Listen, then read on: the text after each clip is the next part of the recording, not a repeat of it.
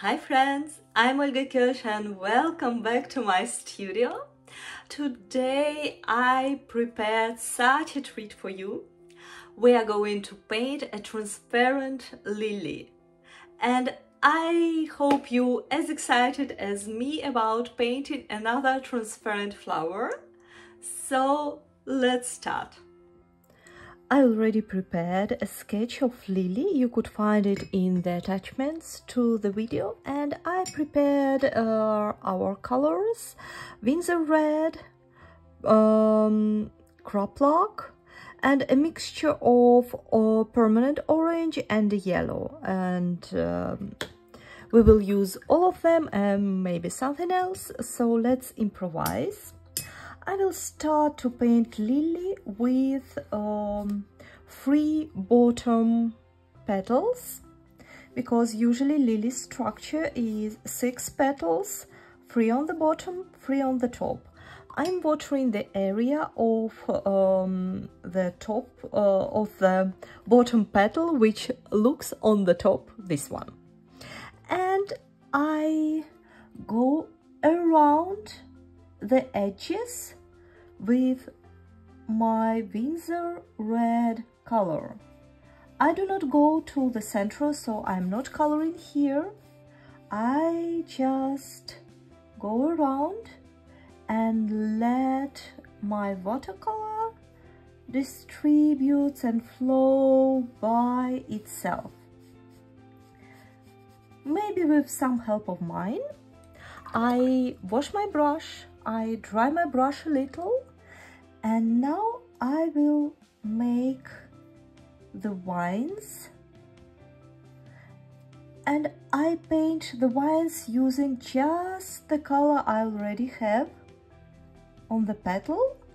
I just drag out the color and I move with my brush on the shape of the petal. So to make it easy, imagine that you have, for example, an apple here or a ball and you paint on the surface of the apple, on the top of the ball, on the top of the apple. That will make your lines these nicely curved and lilies usually have these very certain main vines so let's emphasize it a little bit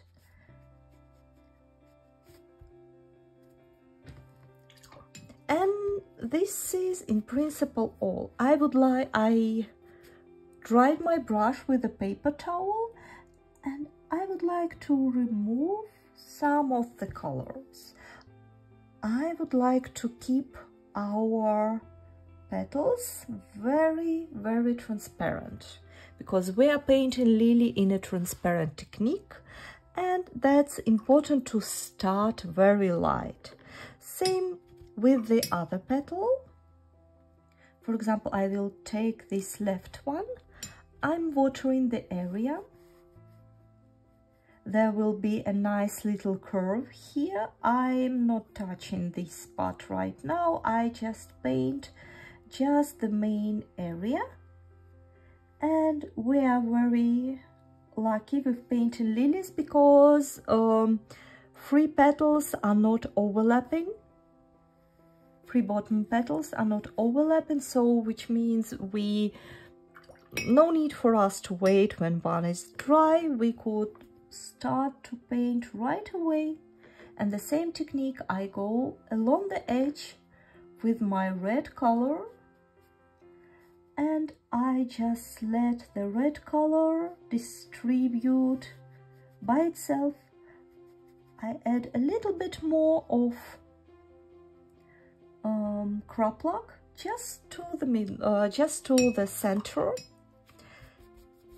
for some variety of colors. And same thing, I distribute the color from the center to the to the edge of the petal with dry and clean brush. I do not have any any color on my brush what I'm doing is just drag out the color from the colored area and distribute nicely to the whole petal and that's how I create these wines. The only wine I use a little bit color to is the middle wine. It's very, very obvious, very certain in lilies. It's nice to show it on, on the painting. I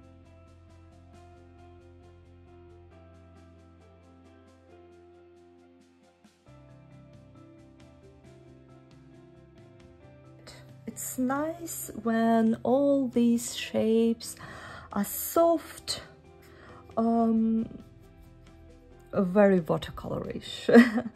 Uh, I hope you know you know what I mean. And uh, they move into the next petal it will look a little bit down. Watering the area? Uh, it's very helpful if you water the area just with a small hint of um, color. For example, I already have something orange red in my glass and that helps me just to control to see the area which I'm watering much better. And I nothing new. I'm sorry to say nothing new. I go along the edges with the tip of my brush. Sometimes i apply a little bit more pressure to make the curves nice and interesting. I just go along the edge and just let my watercolors flow very naturally. And here it's a little bit dry already it doesn't matter. I wash my brush. I keep it a little bit wet a little bit wet. And i go around this colored area and smooth the edges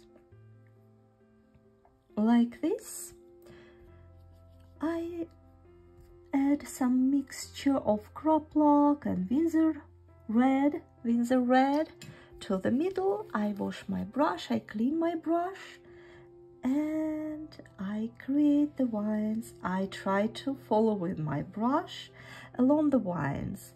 And it's important that all the wines start at one point in the center of the flower and they meet together again at one point at the very edge of, of a petal. And don't uh, paint vines like this straight. That's not what how we paint in it. It should be a nice curve. Imagine you uh, imagine you painting on the surface of an apple, for example, or a pear. I think pear is much more fit into this this petal and the main vine the main the central vine of lily I make it a little bit smooth in some areas just like this we will add more details here uh, later on right now um, the only thing I would like to emphasize a little bit this edge. And now let me check if this is still wet, so it would be nice to wait until it dries. So our painting is dry, all, all the parts are dry, that's important because we will paint with some overlaps and we need all the neighboring surfaces be very dry. But in principle technique is the same.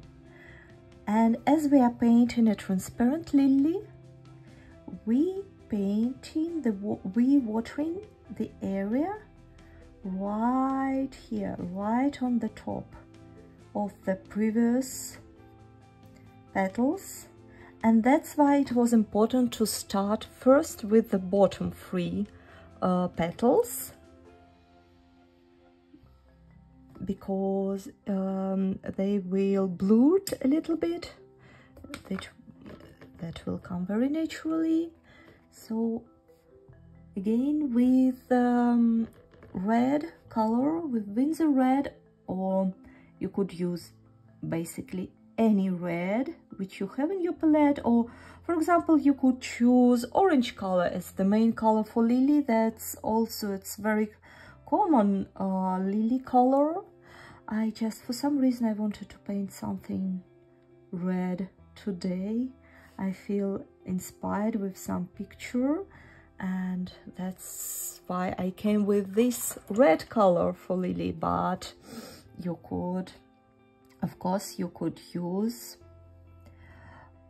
orange color which is yes very well known. That's uh, probably how many lilies around you look like.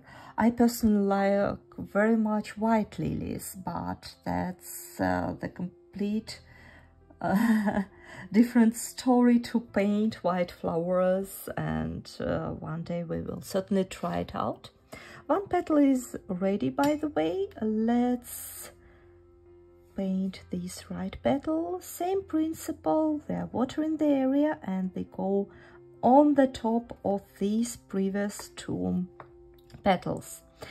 Uh, let's say if we will be paint if we were painting sorry my English. Uh, if we were painting um, usual normal um, lily I mean in normal technique uh, close to botanical illustration we would not water these um, areas. We would not make this overlapping because it would be hidden and top petals will cover uh, the bottom ones. Uh, but now we're painting in this very special very beautiful transparent technique.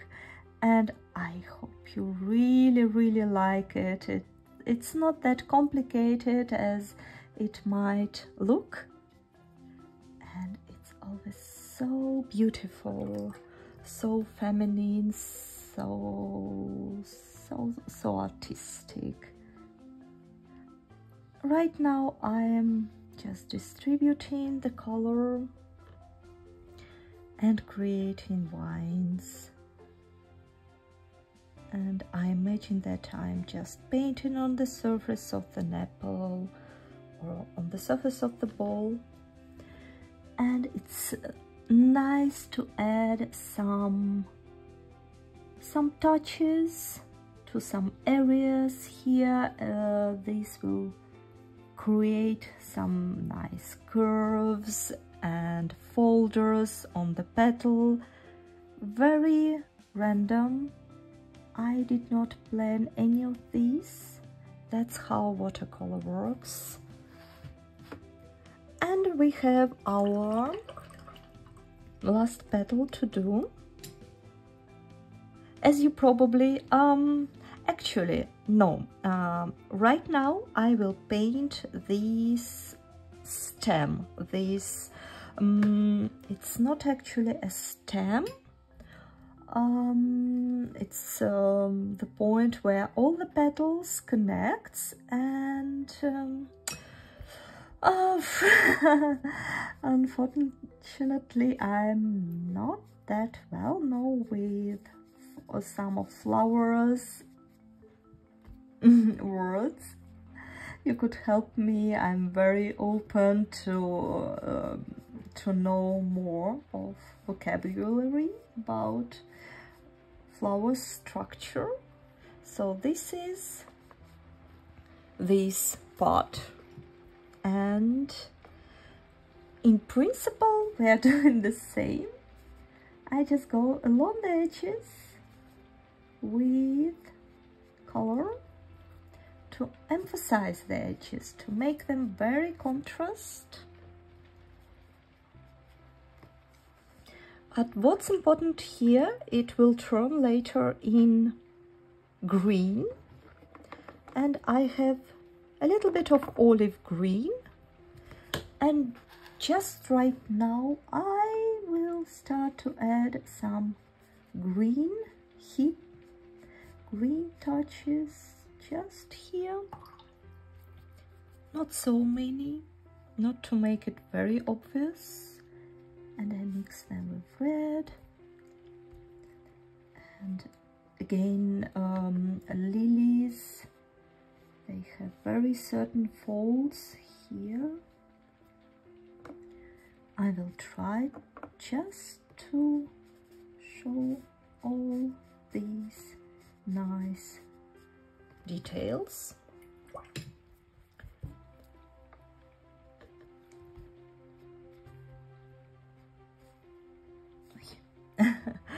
That was not necessary. I clean my brush. I dry my brush and I just remove this unnecessary stroke. Uh, right now before we paint the last petal I would like to dry it out and I will use a hair dryer so now the area is completely dry and the last thing we need to do is to very carefully I'm not pressing too much on the brush just very carefully very gentle water the area of the petal.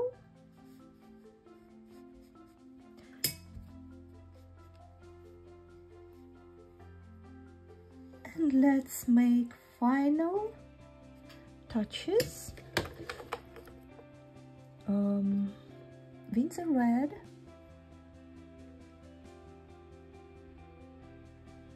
I go very gentle on them uh, on the uh, along the edges of the flower. Sometimes I press my brush a bit more to prepare this curvy feeling sometimes a bit less but more close you get to the middle of the flower the thicker your brush strokes could be. Like this for example I like it very much. I like that we could see through the flower all the bottom areas. I just want to smooth a little bit some areas here. And I want to create these vines, central vine and the other vines. Always go along the shape of the petal. It's curvy and we need to imitate this curvy structure. I add some of color to the um, middle part of the petal for some contrast. It's time to add some contrast. Maybe in some points of the petal here. Now before we finalize um, everything, I I'm not forgetting about small areas around that here will be a curve and as we paint a transparent flower we could totally see how this curvy part goes under under the flower. For example if you look um, on the flower petals on the bright sunshine you could um, you could see how it looks like. And again and again and again and again, same principle. I watered the area and I went along the edges with bolder color sometimes I need to drag out a little bit because here it is too obvious and I want to distribute the color a little bit here and emphasize a little bit this fold very carefully just like this. I think it's uh, now time to change the bigger brush to a smaller brush and I would like to paint uh, similar the small curvy part here. I use very diluted red and I imagine that the flower edge grows just like this and I paint this area. And because we paint on the top with very diluted color it's already it's already looks pretty transparent. On my sketch I painted a little bit longer. Yes I think I, I could actually do what I make on sketch. Like this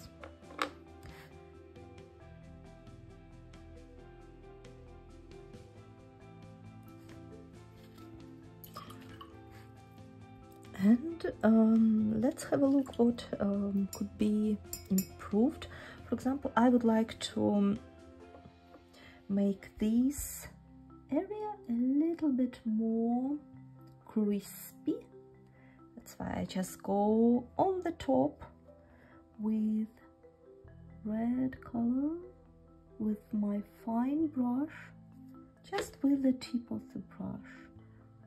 I want to add some crispiness and more contrast because that really gives us this um, transparency feeling. Same here. Always keep in mind which area is on the top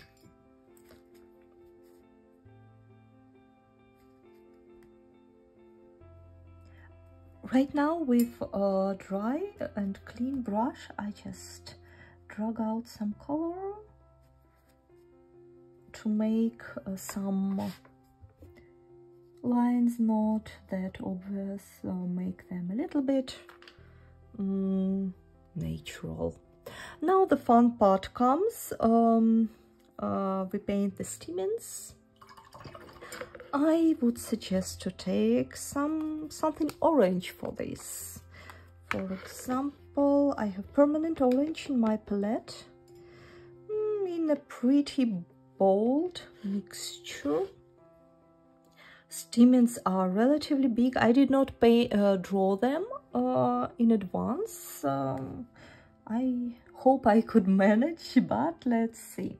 So with Brave Move, I'm paint some lines one two three four five oops and six.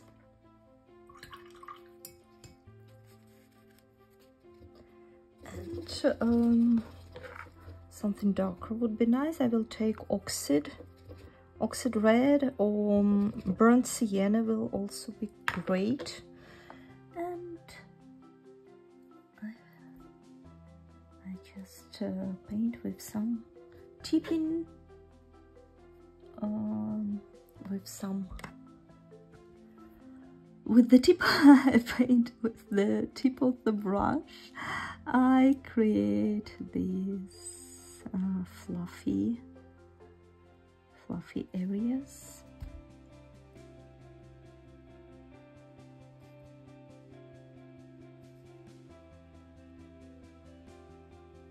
Uh, nice if you use uh, some contrast some dark, darker brown.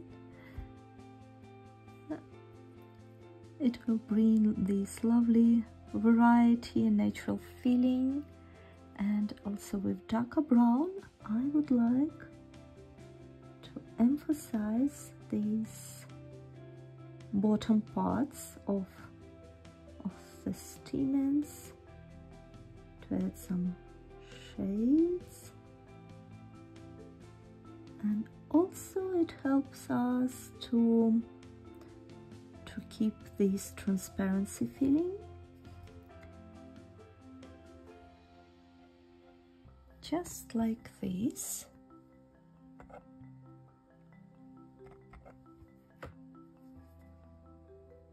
Some crispiness to some edges. And I'm very happy with the result of our lily. Thank you so much for watching this video. Please let me know in comments which flower in transparent technique you would like to paint next. I will try my best uh, to record a video for you. Subscribe my channel and see you next time. Bye bye.